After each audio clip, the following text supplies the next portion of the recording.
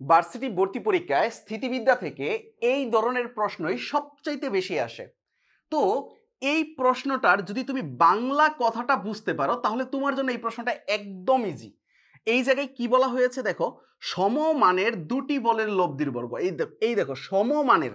তাহলে দুইটা বল যদি থাকে এই বলের মানটা সেম হইতে হবে। এটা যদি পি হয়, এটা পি পিই হইতে হবে।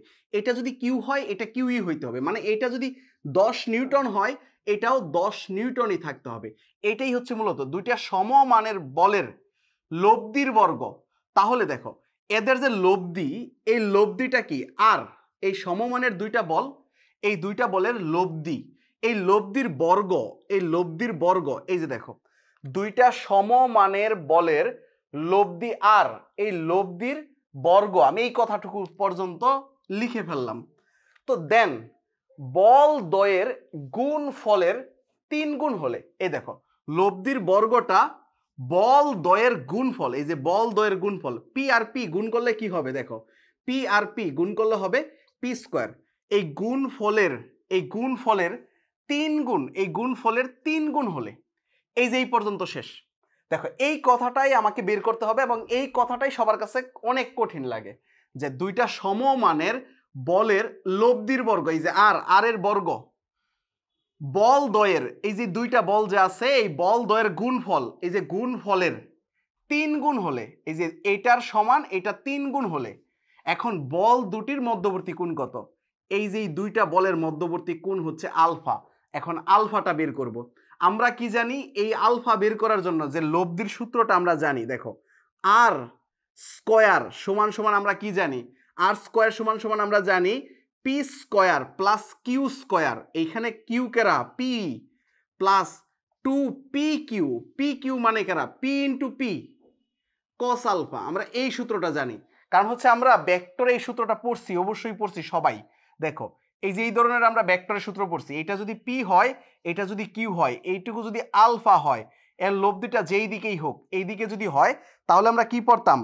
আর স্কয়ার বা রুট ওভার মানে আর বের করতে গেলে আমরা দিতাম root over P square Q square plus two P Q cos alpha আমরা এইটা ব্যবহার করতাম। ওই জায়গা থেকে এখন আর স্কয়ার দুইটাকে বর্গ করে দিচ্ছি, তাহলে এইদিকে রুট চলে যাবে। তাহলে P square Q square plus two P Q cos alpha আমরা ভেক্টরে এই সূত্রটা অবশ্যই পড়ছি, সবাই পড়ছি। সেম কাজটাই তো আমরা এখানে করতেছি। দুইটা বল যোগ করার ওয়েই হচ্ছে ভেক্টর তাহলে দুইটা বলকে যদি আমরা যোগ করতে চাই মানে দুইটা দিক যদি থাকে, তাহলে ওই দিকের রাশিগুলা কি যোগ করতে গেলে আমরা সূত্রই হচ্ছে এটা। এখন এই জায়গা থেকে দেখো, এই আর স্কোয়ারের পরিবর্তে আমি কত বসাচ্ছি? থ্রি পি স্কোয়ার এই যে আর স্কোয়ারের পরিবর্তে। এই আর স্কোয়ারের পরিবর্তে থ্রি পি স্কোয়ার বসিয়ে দিচ্ছি, আর এইখানে যোগ করলে কত হচ্ছে? টু পি স্কোয়ার আর এইখানে হচ্ছে plus two P square cos alpha এখন দেখো এটা এইদিকে নিয়ে আসা পড়লে কি হবে? শুধু পি স্কোয়ার থাকবে, কারণ দুইটা এদিকে আসলে একটা চলে যাবে। অর্থাৎ তিনটা থেকে দুইটা চলে যাবে, একটা পি স্কোয়ার থাকবে। দেন সমান সমান two P square cos alpha এখন দুই দিক থেকে পি স্কোয়ার বাদ দিতে পারি বা এটা দিয়ে ভাগ করে দিতে পারি। অর্থাৎ P square by two P square সমান সমান কস আলফা এখন এখানে কাটাকাটি করলে কাটাকাটি করলে কি থাকবে? কস আলফা সমান সমান কস আলফা সমান সমান থাকবে হাফ কস আলফা সমান সমান থাকবে হাফ এখন দেখো কস কত ডিগ্রিতে হাফ তার মানে কস ষাট ডিগ্রিতে হাফ তাহলে যে কস আলফা সমান সমান কস ষাট ডিগ্রি।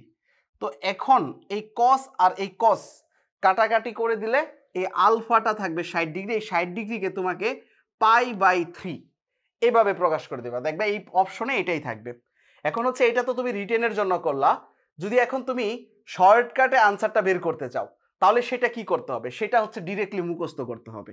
এইটার আনসার যদি এরকম থাকে, তখন সেটা থেকে আনসার কত হবে? আলফা এর মান আলফা এর মান হচ্ছে পাই বাই থ্রি তার কারণ হচ্ছে কি? দেখো, এই আনসারটা আমি কেন মুখস্থ করতে বলতেছি? দেখবা, এই ধরনের প্রশ্নই অনেক অনেক, অনেকবার আসে। তাই এই জন্য কিছু কিছু তথ্য তোমাকে মুখস্থ করে রাখতে হবে। যখন তোমাকে বলা হবে দুইটা সমমানের বল, তাদের মধ্যবর্তী কোণ ষাট ডিগ্রি, তখন তারা, তাদের সম্পর্কটা কি? সম্পর্কটা তখন কি পাবা? এটা। যে দুইটা বলের দুইটা বলের গুণ ফলের তিন গুণ তাদের লব্ধির বর্গের সমান, এই সম্পর্কটাই পাবা। তো অনেক সময় এইটা থেকে এটা কোশ্চেন আসতে পারে বা এটা থেকে এটা আসতে পারে। তুমি এই প্রশ্নটা প্রশ্ন ব্যাংক খুললেই দেখবা এই ধরনের প্রশ্ন অনেকবার এসেছে। তো এই জন্য কিছু কিছু তথ্য তোমাকে মুখস্থ রাখতে হবে আর বেসিক দিয়ে তুমি ম্যাথটাও করে ফেলতে পারবা রিটেনের জন্য। রিটেনের জন্য একটু লং করবা আর হচ্ছে এমসিকিউর জন্য একটু শর্টকাটে শর্টকাট বলতে আসলে মুখস্থ করে ফেলতে হবে সেটাই। তাহলে আরেকটা ম্যাথ দেখাচ্ছি, তারপরে আমরা অন্য আরেকটা টাইপে চলে যাব। দেখো, এই প্রশ্নে কি বলা হয়েছে? এই প্রশ্নে আমাকে বের করতে হবে অন্তর্ভুক্ত কোন কত? কার অন্তর্ভুক্ত কোন এ এবং সি এর অন্তর্ভুক্ত কোন প্রশ্নটাতে মূলত কি বলা হয়েছে? এক এক রুট টু এই তিনটা মানের তিনটি বল একটি বস্তুকে সাম্যাবস্থায় রাখে। অর্থাৎ তাহলে এই তিনটা বলকে আমি এ বি সি এভাবে কাউন্ট করতে পারি। এই তিনটা মানের তিনটি বল একটি বস্তুকে সাম্যাবস্থায় রাখে। এ এবং সি এর মধ্যবর্তী কোণ নির্ণয় করতে বলতেছে। তাহলে এটা এবং লাস্টেরটা এই দুইটার মধ্যবর্তী কোণ। তাহলে এটাকে যদি আমি এ বলি আর এটাকে যদি আমি সি বলি, তাহলে এ এর মান কত? ওয়ান আর সি এর মান কত? এই যে রুট টু এই দুইটার মধ্যবর্তী মধ্যবর্তী কোনটা নির্ণয় করতে বলতেছে? কিন্তু এই জায়গায় দেখ, একটা তথ্য দেওয়া আছে। এই তিনটা বল একটি বস্তুকে সাম্যাবস্থায় রাখে। আচ্ছা ধরো এই দুইটা বলের, এই দুইটা বলের যদি একটা লোভ দিয়ে আর চিন্তা করি আর চিন্তা করি আর এর ঠিক বিপরীত দিকে যদি কোনো কিছু সেমভাবে ধরে রাখতে পারে যেমন আর এর সমানই হচ্ছে ডাব্লিউ এটা যদি একদম সমান হয় ইকুয়াল হয় আর এর বিপরীত দিকে যদি টেনে ধরে রাখতে পারে, তাইলেই তো এটা সাম্যাবস্থায় থাকবে, আর লড়াচড়া করবে না। কারণ হচ্ছে কি, এই দুইটা বল যদি একই দিকে হয়, এই দুইটা বল যদি টেনে একটা লব্ধি তৈরি করে আর সেই আর এর বিপরীত দিকে যদি আরেকটা বল থাকে, এই যে বি বলটা যদি সেটার বিপরীত দিকে থাকে, তাহলেই সেটা সাম্যাবস্থায় থাকবে। এখন এই বি অর্থাৎ এই ডাব্লিউটা আমরা কীভাবে বের করব? সেই আর এর মতন আর এর সূত্র। এইটুকু হচ্ছে আলফা, তাহলে আর এর সূত্রটা কি? আর স্কয়ার, অর্থাৎ ডাব্লিউ স্কয়ার সমান সমান হচ্ছে এই দুইটার স্কয়ার। তাহলে এই দুইটা কত? এই যে ওয়ান ওয়ানের স্কয়ার। তারপর হচ্ছে প্লাস এই যে রুট টু রুট টু এর square plus two P Q কারণ এটা যদি তুমি পি এর মতন চিন্তা করো, এটা যদি তুমি কিউ এর মতন চিন্তা করো। এই যে আর স্কয়ার সমান সমান আর এর মানটা কত? দেখো, এই যে এইখানে। বি এর মানটাই হবে এখন আর এর মান। বি এর মান কত? ওয়ান কারণ এইটাই তো টেনে ধরে রাখতেছে, সাম্যাবস্থায় থাকতেছে। তাহলে এইটাই হচ্ছে এই যে ওয়ান স্কয়ার ওয়ান স্কয়ার মানে বি স্কয়ারেরটা মানটা। আর এটা হচ্ছে এস স্কোয়ার মানে পি স্কয়ার যেটা। এটা কিউ স্কয়ার তারপর হচ্ছে two P Q two P Q Q এর মান হচ্ছে রুট টু তারপর হচ্ছে কস আলফা এই আলফাটাই বের করব, দেখো। এটা ওয়ান আসলে কত হয়ে যাবে? জিরো তারপরে এটা রুট টু মানে কত হয়ে যাবে? টু প্লাস হচ্ছে two root two cos alpha. এখন এটাকে এই দিকে পাঠিয়ে এটা দিয়ে যদি ভাগ করি, তাহলে আমরা কস আলফাটা পেয়ে যাচ্ছি minus one by root two তাহলে এই ওয়ান বাই রুট টু এই minus one by root two মানে কি? পঁয়তাল্লিশ ডিগ্রি। পঁয়তাল্লিশ মানে হচ্ছে পাই বাই ফোর অর্থাৎ পঁয়তাল্লিশ ডিগ্রি। তাহলে এটাই কিন্তু আনসার এখন তোমাকে এই ধরনের এই ধরনের প্রশ্নগুলো এইভাবেই সলভ করতে হবে, একটু লং বা ডিটেলসে মানে একটা লাইন করতেই হবে। একটা লাইনই হচ্ছে মূলত আমি বলতেছি ডিটেলস আর কিছু কিছু প্রশ্ন আছে ডিরেক্টলি মুখস্থ বলে দিতে হবে। এখন সেই কয়টা প্রশ্ন আছে ডিরেক্টলি মুখস্থ বলতে হবে, সেইগুলো আমি এখন লিখতেছি, দেখো, একদম এই জিনিসগুলো তোমাকে একদম প্রশ্ন দেখা মাত্রই ডিরেক্টলি মুখস্থই বলে দিতে হবে। অ্যাকচুয়ালি দেখো, এতগুলা কোন কিন্তু তোমার মনে রাখা লাগবে না। কারণ তুমি অলরেডি এই তিনটা কোন কিন্তু জানো।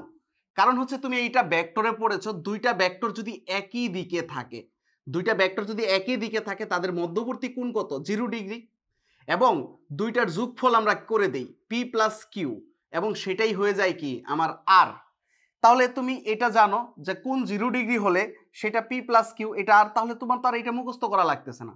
দেন বিপরীত দিকে থাকলে একশো আশি ডিগ্রি কারণ হচ্ছে যে বিপরীত দিকে যদি দুইটা থাকে, তাহলে এই আরটা বড়টা থেকে ছোটটা কি করো? বিয়োগ করে দাও। সেটাই তুমি বিপরীত দিকে, তাহলে তখন কত ডিগ্রি কোন উৎপন্ন করতেছে? একশো আশি ডিগ্রি তাহলে এটাও তুমি জানো, তাহলে এটাও তো তোমার মুখস্থ করা লাগতেছে না। দেন এটা এটাও তুমি জানো, কারণ হচ্ছে কি? ওই যে আর এর মান P square plus Q square plus two P Q cos alpha ওই জায়গায় যদি জিরো ডিগ্রি বসাই, তাহলে এইটুকু জিরো হয়ে যাবে। তো জিরো হয়ে গেলে এই যে P square plus Q square থাকে, তখন এটা আসলে কততে জিরো হচ্ছে? নাইনটিতে তো আমরা ওই হিসাব করে মোটামুটি বের করে ফেলতে পারতেছি যে এটাও নাইনটি ডিগ্রি তো আশা করি তুমি এই তিনটা জিনিস জানো, এই তিনটা জিনিস পারো, কিন্তু এই চারটা জিনিস তোমার কাছে নতুন হবে, এই চারটা জিনিস আমি মুখস্থ করতে বলব। তো এই চারটা জিনিস যদি মনে রাখতে পারো, তাহলে দেখবা তোমার এই স্থিতিবিদ্যা থেকে কোন রিলেটেড যে প্রশ্নগুলো আসতেছে, দেখা মাত্র আনসার করতে পারতেছো। দেখো, তোমাকে যদি বলে দেয়, এই একটা বল পি পি এর মান হচ্ছে ফাইভ নিউটন এবং তোমাকে বলে দিল এই দিকে কিউ কিউ এর মানও হচ্ছে ফাইভ নিউটন এবং এদের লব্ধি লব্ধি আর যেটা তৈরি হয় সেটা পি কিউ এর সমান। পি বা কিউ যে কোনো একটার সমান। তাহলে সেটাও কি ফাইভ নিউটন তাহলে এদের মধ্যবর্তী কোণ কত? তাহলে এদের মধ্যবর্তী কোণ হবে একশো বিশ ডিগ্রি।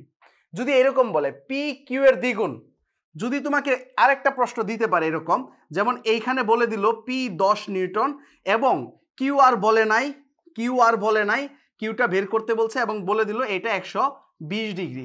এখন এটার আনসারটা কত হবে? কিউ এর আনসারটা কত হবে? দেখুন, যদি একশো বিশ ডিগ্রি হয় আলফা, তাইলে এই পিটা হচ্ছে কিউ এর দ্বিগুণ, পিটা হচ্ছে কিউ এর দ্বিগুণ।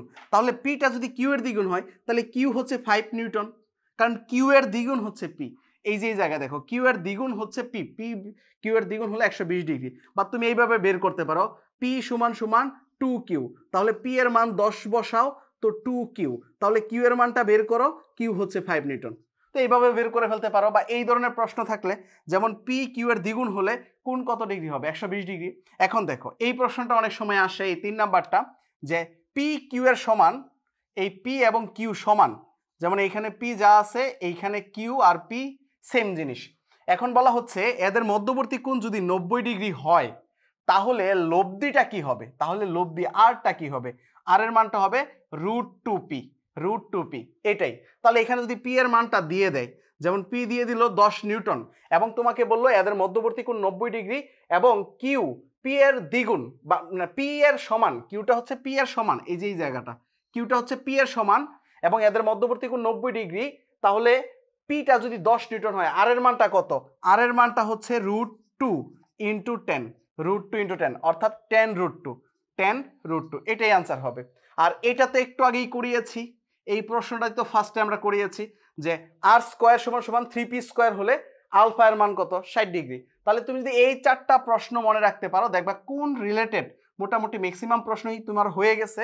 আর সবচেয়ে গুরুত্বপূর্ণ একটা কথা হচ্ছে, তুমি সাইন এবং কস সাইন এবং কসের সবগুলা থিটার মান মনে রাখবা মাইনাস একশো আশি থেকে। মাইনাস একশো আশি থেকে প্লাস একশো আশি পর্যন্ত মিনিমাম মুখস্থ রাখবা। মাইনাস একশো আশি থেকে প্লাস একশো আশি। প্রতি ডিফারেন্স পনেরো বা তিরিশ করে। প্রতি ডিফারেন্স পনেরো বা তিরিশ করে একটা শখ তৈরি করে এটা মুখস্থ করে নিও। আদারওয়াইজ দেখবা তোমার কোন রিলেটেড অনেক প্রবলেমই তুমি সলভ করতে পারতেছো না। যেমন কস একশো পঞ্চাশ ডিগ্রি কত বা কস একশো একশো মাইনাস কস মাইনাস একশো পঞ্চাশ ডিগ্রি কত বা সাইন মাইনাস একশো পঞ্চাশ ডিগ্রি কত। এরকম যদি আসে তখন তোমাকে এই মানগুলা জানা থাকা লাগবে। এটা ত্রিকোণমিতিতেও লাগে তো স্থিতিবিদ্যায় মাঝে মাঝে লাগে। তো এই জিনিসগুলো তোমাকে মাথায় রাখতে হবে। আর শুধু এই চারটা এই চারটা জিনিস তুমি এখনই মুখস্থ করে ফেলো এবং প্রিভিয়াস ইয়ারের কোশ্চেন সলভ করো। তোমাকে মাস্ট প্রিভিয়াস প্রিভিয়াস ইয়ারের কোশ্চেন সলভ করতেই হবে। এটা খুব জরুরি। প্রিভিয়াস ইয়ারের কোশ্চেন যদি সলভ না করো, তাহলে তুমি বুঝতে পারবে না যে আসলে তোমার কতটুকু হচ্ছে প্রিপারেশন তোমাকে ভার্সিটির ভালো প্রিপারেশন নিতে গেলে অবশ্যই তোমাকে যে কোনো ইউনিভার্সিটি একটাকে, একটা ইউনিভার্সিটিকে টার্গেট করে তার বিশ থেকে তিরিশ বছরের প্রিভিয়াস ইয়ারের কোশ্চেন সলভ করে ফেলতে হবে। তাহলে দেখবা খুব ভালো প্রিপারেশন হয়ে যাবে। তাহলে পরবর্তী ভিডিও দেখার আমন্ত্রণ রইল আর সবসময় আমার ইউটিউব চ্যানেলের প্লে লিস্টের সিরিয়াল ওয়াইজ ভিডিওগুলো দেখবা। একটা উল্টা উল্টাপাল্টা করে দেখলে অনেক সময় অনেক কিছু লিঙ্ক পাবা না বা বুঝবা না। এই জন্য আমি বলি যে একদম শুরু থেকে শেষ পর্যন্ত সিরিয়ালাইজ ভিডিওগুলো দেখবা, সাথে সাথে একটা করে নোট তৈরি করে ফেলবা এবং প্রিভিয়াস এর কোশ্চেনগুলো সলভ করবা। আর হচ্ছে যে একটা ভিডিও যদি একবার দেখে না বুঝতে পারো, তাহলে বারবার দেখবা। টেনে টেনে না দেখে একটু ধৈর্য সহকারে পুরো ভিডিওটা দেখার চেষ্টা করবা। আজকে এই পর্যন্তই, আল্লাহ হাফিজ।